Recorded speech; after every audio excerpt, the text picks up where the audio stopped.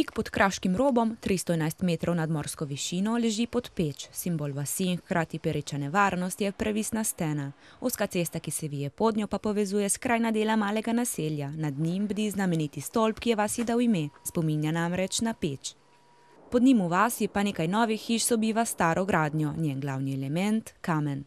Med starimi zgradbami stopa Prkičeva hiša. Nekoč kamnoseško delavnico sta leta 1547 sezidala mojstra Andrej in Benko iz Sočerge in na njej pustila dokaze svojih spretnosti.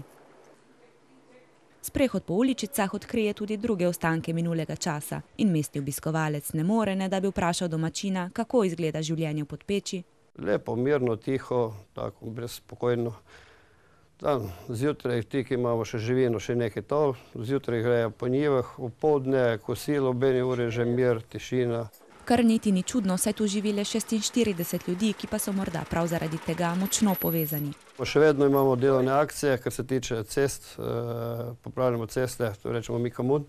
Domačini se zadnjo nedeljo avgusta po maši zberejo ob cerkvi svete Helene in skupaj proslavijo njen praznik.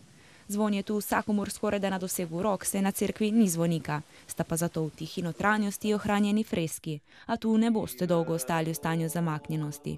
Železnica Kozina-Koper je speljana ravno med cerkvijo in vasjo.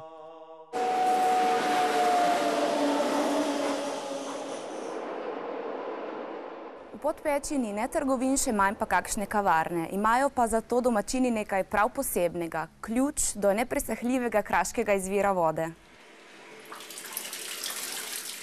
Vaščani popotnikom z veseljem omogočijo, da si steklenico napolnijo z bistro vodo. Ta jih bo odžejala med vzponom, ki jih bo popeljala v daljno preteklost. Na poti najprej jama, ki je vaščanom nekoč služila kot skrivališče pred Turki in vskoki. Še zadnji napor in že je tu, sedemnajstmetrski obrambni stolp.